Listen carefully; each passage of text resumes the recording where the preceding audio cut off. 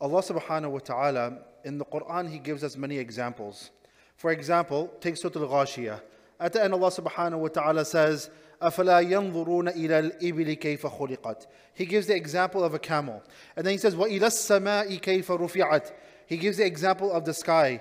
وَإِلَى الْجِبَالِ كَيْفَ نُصِبَتْ He gives the example of a mountain. وَإِلَى الْأَرْضِ كَيْفَ سُطِحَتْ And He gives the example of earth. And subhanAllah, the Mufassirun, they say that all these four examples that Allah subhanahu has given us is directly linked with us, is linked with a human being. Allah subhanahu wa ta'ala has surrounded us with things for us to reflect from, things that we can learn from. And this is why Rasulullah sallallahu alayhi wasallam, he says in a hadith, which is found in Sahih al-Bukhari, that there is a tree amongst all the trees that represents a Muslim in goodness and that is the palm tree, that is the date palm tree. This is the quote of Rasulullah sallallahu alaihi wasallam. And when we think about a tree, today inshallah in this brief khatira, I want to talk about how this Muslim represents that tree, how that Muslim is resembling that tree. First of all, we talk about the roots we put the seed into the ground. We make sure that that seed is surrounded by proper soil. If the soil is corrupt, then that seed, no matter how good of a seed it is, it will never sprout. It will never grow. Likewise, when we talk about the, uh, the concept of roots, when we talk about the concept of the foundation of a tree, and is starting from that seed, and that seed, and there's, there's roots that go deep into the ground, the first thing that we learn from this is in order for that seed to grow, it has to be surrounded with proper soil. Likewise, when it comes to the human being, when it comes to the believer, we have to be surrounded by proper people. We have to make sure that we're always in the company of righteous people in order for us to grow grow. We've heard this before so many times that we are a representation,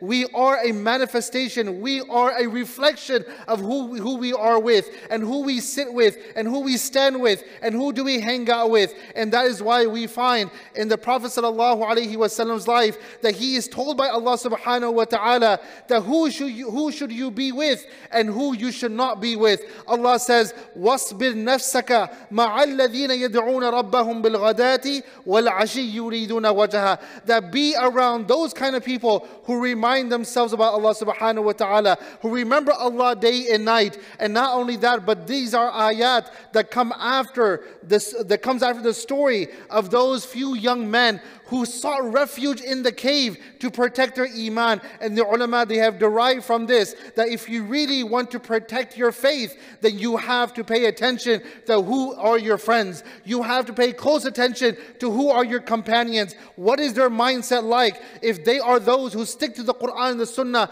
you want to be around those people. No matter what the society calls them. Society may call them, you know, backwards. Society may call them that they are not smart and so forth. But Allah and His Prophet teach us that this is who you need to be around. And once again, going back to the example of that seed, in order for that seed to sprout and grow, it has to be surrounded by proper soil. Number two is that just like it takes seed it takes a seed to time to grow. You put a seed, you water it and you water it and you take care of it and the, the roots begin to go deeper into the ground and then the plant sprouts. And as that plant sprouts, it's still fertile, it's still weak, it's still, uh, even though it's fertile, it's weak. People can stop right over it, people can kick it and so forth. But it takes time to grow, brothers and sisters. Likewise, when it comes to the Iman of a believer, it takes time to grow. You can cannot grow the iman overnight. We find from Sahaba radiallahu anhum, when Rasulullah sallallahu alayhi wasallam brought Islam, our mother Aisha radiallahu anha says, had Rasulullah sallam from day one said, this is halal and this is haram, people have never accepted it. But that's why it took 13 years 13 years to grow and develop that iman of the Sahaba radiallahu anhum. And that is why in the beginning years, there was no halal and haram. Besides the fact that shirk is haram. Of course we know. We know that we have to believe in Rasulullah but overall, all the halal and haram, even salat, the five time day salat, came 10 years into the prophethood of Rasulullah sallallahu Why? Because in order for us to stick to our iman and accept everything from Allah and His Prophet sallallahu it takes time for our iman to develop. And sometimes we make a U turn in life. we we have been living a life of transgression. We're living a life of dhulm. We are committing sins, and then we realize, I need to turn my life around. And then we expect that just like that, just like a light switch, I will turn my entire life around. And then we fall, we find ourselves at times following into the sin, and that is when shaitan brings disparity. And he says, Look at you, you try to stop from that sin. Where was the help of Allah subhanahu wa ta'ala? But that is the disparity of the shaitan. And that is why we have to understand that if I have been committing a haram for so many years, for so many years, and now overnight I want to change that. It may not happen. It takes time, it takes dedication, it takes commitment, it takes companionship, and so forth in order for us to stay away from the haram. So that is why, just like it takes the seed time to sprout, likewise for a believer, it takes their iman time to grow, and so forth. The next thing is that just like the roots of the seed that, that come from the seed cannot develop by itself Likewise, our iman cannot just develop by itself through our own, through just on our own. We have to work on it. We have to proactively work on it. That means salat, siyam, zakat. Uh, of course, zakat is there, sadaqah, Quran tilawa, dhikr of Allah subhanahu wa ta'ala. Always hearing something always being around those kind of people who remind you of doing good. It doesn't have to be, you don't have to be around someone that will always give you a lecture. But even if you are around someone that stops you when you're doing something, something that is haram, I've talked about this before, that why was Bani Israel cursed? Because they would see the other committing haram. And because they are my friends, they're my best buddies, I'm going to let them come into haram whatever they want. No, a true friend stops another friend. A true friend says that no matter how how deep our friendship is. If I see you doing something that is wrong, I will stop you. That is what a true friend is. And a lot of times we will say that what kind of a friend are you? I thought you had my back. I thought you would you had my back in all circumstances. But that is where we put our foot down and say, Yes, I am your friend and good. But at the same time, I will stick with the haqq and I will never stand on the side of batil. If I see you doing something that is wrong, or you ask me to stand by your side when you have done something that is wrong, I will never stand by your side.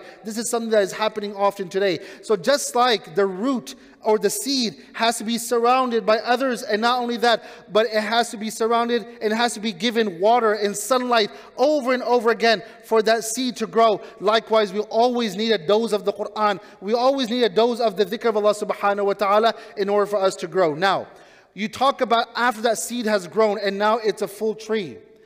If the roots are deep of that tree, what happens is that no matter what challenges come that way, if even if there's a strong wind that comes, it will never put, it will never throw the tree onto the floor. It can never put the tree onto the floor. That tree will remain there. Yes, it may move. It, you will see a you will see a palm tree when there are strong winds that come. You will see that you know you will see it going. You know you see the the leaves or the branches you know in one direction of the wind and so forth. But you don't see that tree on the ground most often. That is the sign of a believer. Likewise, a believer, no matter what challenges come its way, it will always stand firm. Yes, the, the wind may push it down, adversities may push it off its heels a little, but a person, a true believer, will always remain firm. Even if you get pushed off its heels, and even it does follow, fall down a little, but it will always remain firm in its place. And then the last thing, how it resembles a believer. How does it resemble a believer? Is always forth giving. See, this is something that's beautiful about our deen. Our deen has taught us that you cannot be selfish. Our deen has taught us that the best are those who just don't only benefit themselves, but they benefit others. For example, the Prophet ﷺ, he did not say the best person is that person who learns the Quran. No. He said the best person is that person who learns the Quran and then teaches it to others. You cannot be selfish in our deen. Why is there a concept of sadaqah jariyah? Yes, you're benefiting, but you're benefiting someone else too, right? When you talk about so many different aspects of our deen, it's not only about ourselves, it's about benefiting ourselves, but making sure that we benefit others. You have a date palm tree that provides dates, and from that dates, there is shifa in those dates, and, there, and people gain nourishment from those dates. But subhanAllah, if you look at trees in general, you look at trees in general, so many animals, they eat from that same tree and they benefit the human being too. This is why a believer is not a believer if he only benefits himself. A believer is that person who benefits himself and then they benefit others. Think about it for a moment. The day comes when the announcement has been made Fulan bin Fulan has died. Your announcement has been made in the masjid. You have died, for example. What legacy do you have behind to benefit other people? What have you left behind so people can benefit from it? Are you a person who just paid his bills every single month and you took care of your own matters and you passed away and you have nothing left to show for, that is not what a believer is. A believer leaves behind something. It does something to benefit others. Just like a tree is there and every single animal is benefiting from that tree. A silkworm that eats from that tree, it provides silk. And silk is something that is used by people. When you see a, a, a musk deer eating from that same tree, it provides droppings that has musk in it. It has droppings and there's musk in it. And at the same time, you have other animals eating from that same tree, and other you see that same bee coming to that same tree or the same flowers and so forth, and eating from that, and it provides honey. You have so many plants and they're all are providing. Likewise, a believer is such that they take care of themselves, they maintain their faith, they have a proper surrounding, they're always working on their faith and so forth, but then they do something to benefit others. And it does not have to be that a situation that where you are in the best situation, only then you can help. Many people believe only when I'm in the best situation, only then I will help. Rasulullah taught us you don't have to be in the best situation to help someone else out. If you have a heart if you have a heart and you care for people, no matter what your situation is, you will be there to help other people. And when you help other people and you benefit other people, then Allah subhanahu wa ta'ala will be with you. This is why Allah subhanahu wa ta'ala also says in the Quran, وَمَنْ أَحْسَنُ قَوْلًا مِمَّنْ دَعَا إِلَى اللَّهِ وَعَمِلَ صَالِحًا They do righteous deeds, but then they call other people to Allah subhanahu wa ta'ala. A believer is not a person who only worries about their own akhirah and their own well-being and their own development but a believer is that person who cares about everything I just mentioned, but they also want others to be benefited also. All the ulama that we see, everything that we have learned from our past, from our books,